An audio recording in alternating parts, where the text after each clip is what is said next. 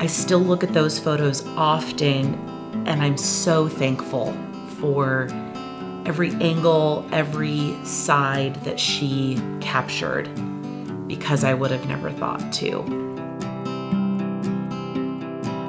We went up and we just thought it'd be a normal, okay, here's the heartbeat. And instead, um, the technician had trouble finding it. And then the doctor came in.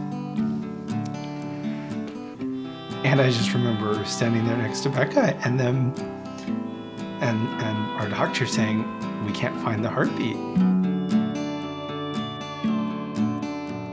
And it's just amazing how in a single moment, everything about your life just turns upside down.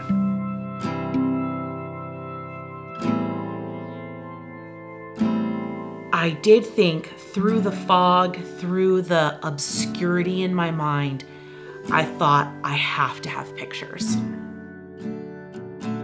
On the way to the hospital that evening, I was calling and texting my friend to contact Now I Lay Me Down to Sleep. I remembered um, this organization that specializes in professional photography of infant loss. I knew I had to have them there.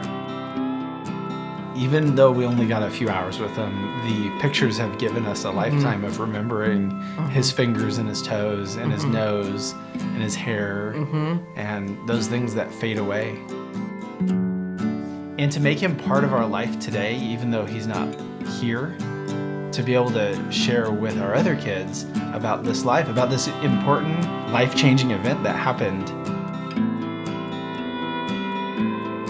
Even though his life was so, so, so, so short, he's left an impact in my life in a really big way. And uh, it just goes to show you really no life is too short to make really significant impact.